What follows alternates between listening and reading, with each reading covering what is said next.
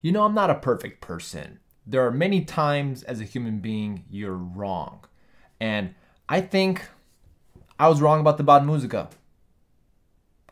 Kind of. Let me explain. I have received so many comments regarding my video on the Bon Musica shoulder rest. And I feel like it is time for the new year to kind of update my uh, my concerns with the Bon Musica. Some of you already may have watched that video who are subscribed to the channel. If not, you know, I made that video a couple years ago, a little bit of an older video, so I figured this could be a great update. You know, the Bon Musica has some strengths. I will give you that. You know, there are some people who like the Bon Musica, but I I will admit that I may have over exaggerated the weight of the Bon Musica. Hear me out. I think it was taken a little bit out of context because the shoulder rest itself is not heavy. Of course, you know, I'm holding it right now.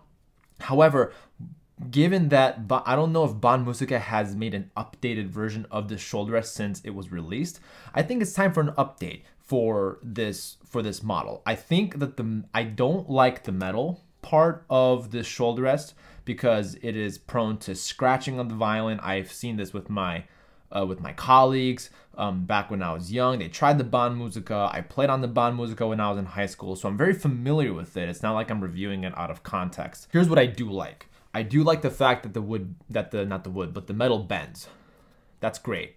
You know, you know the fact that I can put it on my shoulder and it stays this way.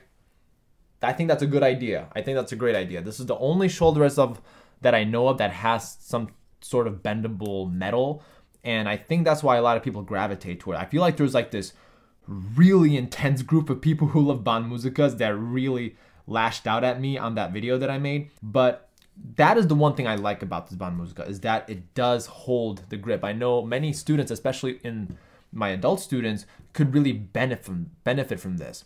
However, I'm always hesitant to recommend this shoulder rest because it is on the heavier side. I think that this violin shoulder rest with the weight of your head can be a problem because the natural weight of your head is around 11 pounds or 5 kilograms.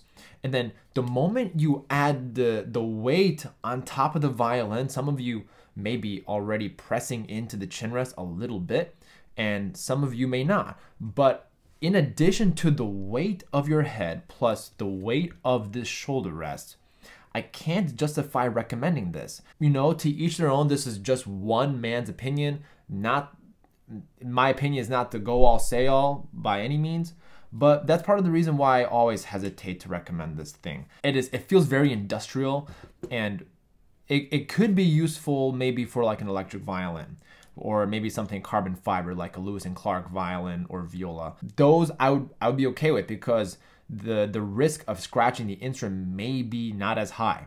But with this, with with a wooden instrument, it's really hard to recommend. But let's take a look at some of the parts in detail to see what I mean. Okay, so generally we, we have this metal shoulder rest. Something that I don't like off the bat is this metal screw. And yes, you can adjust it you know, you can twist it left, you know, righty tighty, lefty loosey. You know, I feel like the materials, this is, you know, this is a German made product. So it is, it is built to last. No doubt about it.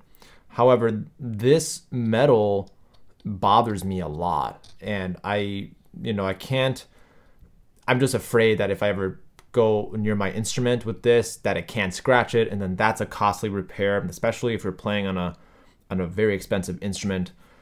Um, as I said, one of the things I do like is the, the bend to metal, that I can bend it left and right this way according to my shoulder, and it stays that way. That, that's cool. And another great thing is that if some of these, these um, pads break or they rip off or you can't super glue for whatever reason, they sell individual uh, parts to this shoulder rest. So you can customize it to your liking. I know that some violinists to get extra padding, they wrap around like a red dot sponge with a rubber band and they kind of add a little bit of extra padding. So this, so this is lifted up a bit. You know, I, I've seen that before. And let's maybe dismantle this just a little bit so we can see what it's all about. even though you can't customize it, like you can do a different, um, you can do different widths this way. You, you can't extend it. This is kind of a weird way of extending it, but I wished it was a little bit more streamlined. You know, sometimes when you do want to adjust quickly, I don't want to have to worry about detaching these two screws that could be easily lost and then I have to uh, I have to replace them. And that's just kind of an annoyance for me. So let's put this back together. Like it's not hard to put back together. It's just these tiny little pieces can be, um, they, they can get lost really easily. So I'm putting this in, putting this there. Oh, oops. Sorry, I did that too quickly. One thing I do like about this shoulder rest is actually, like I said, the padding. Um, I know on the Kun shoulder rest, even though the Kun rests are not perfect, they do have this padding here. And they do have the rubber. Let me go a little closer. This is nice. I wish that they can transfer this to the Kun. And I wish I like I wish there there were some elements of the Kun transferred over to the Bon Musica. You could also, by the way, bend this metal here up and down depending on your shoulder. So you can you can really bend it as much as you want this way.